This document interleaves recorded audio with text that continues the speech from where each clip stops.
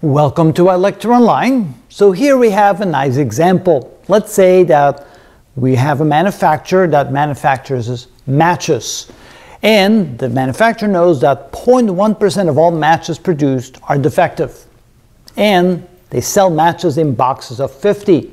Now what would be the probability that zero of the matches in the box are defective? How about one in the box are defective or one or more of the matches are defective. How would we calculate that? Well, we need our equation for binomial distribution and a binomial random variable, and that is that p of x is equal to nx times the probability that x equals successful, in other words, no defect, and we raise that to the x power, and well, let's see here. If we're going to let x be the number of defective matches, then how about if x is defective? How about that? Let's do that. That x is defective times that the probability that x is not defective, the number that are not defective, to the, that would be n minus x power.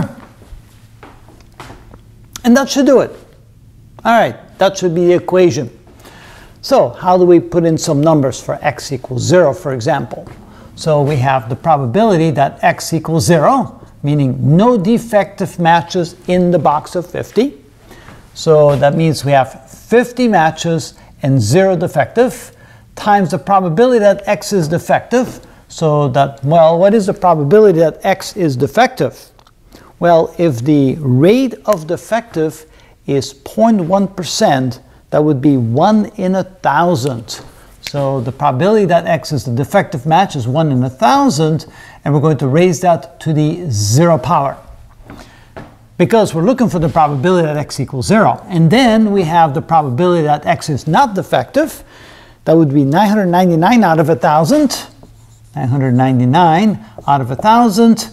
And in that case, we have n minus x, that would be 50 minus 0, or to the 50th power. All right, let's go ahead and see what that's equal to. So that would be equal to 50 factorial divided by 0 factorial times 50 minus 0 factorial.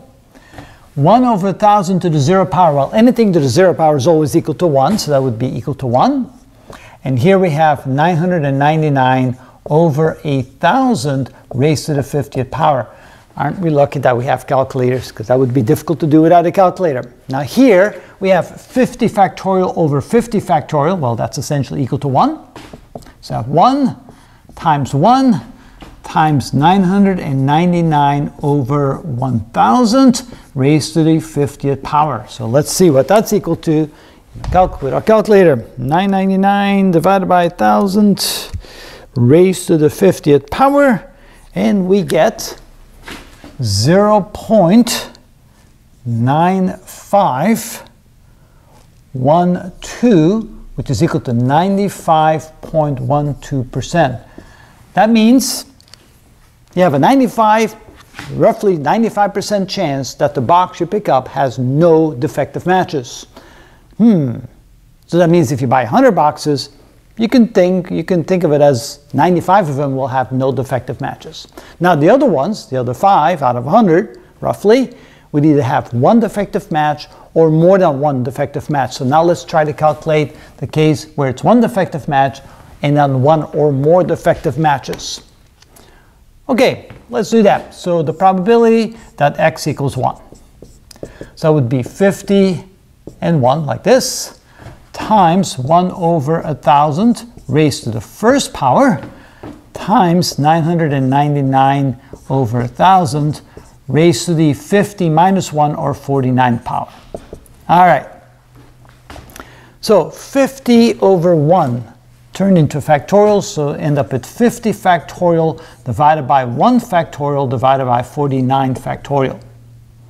And then we multiply that times 1 over 1,000 raised to the 1 power, which is simply 1 over 1,000, times 999 over 1,000 raised to the 49 power.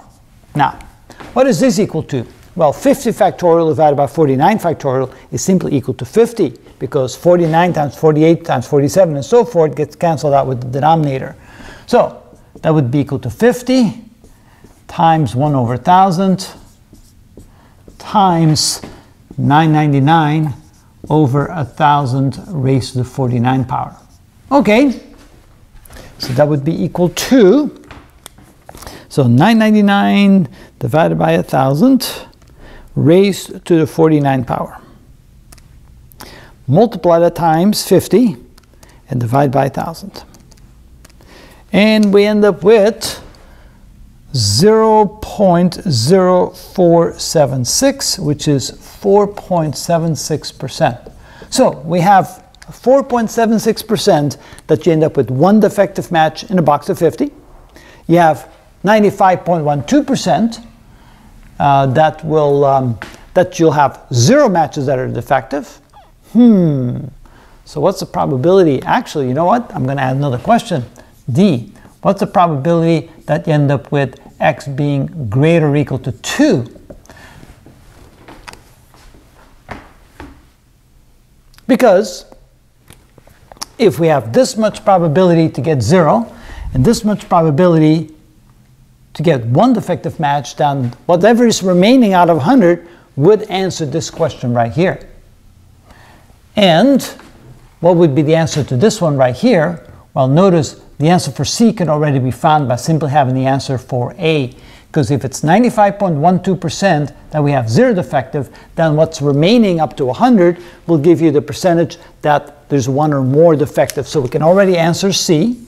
For C, we simply have 100% minus the percent for having zero defective, this is for all possibilities, minus the probability that zero defective matches will occur in the box, and the remainder is zero. Oh, no, I'll go ahead and put it in percentage format.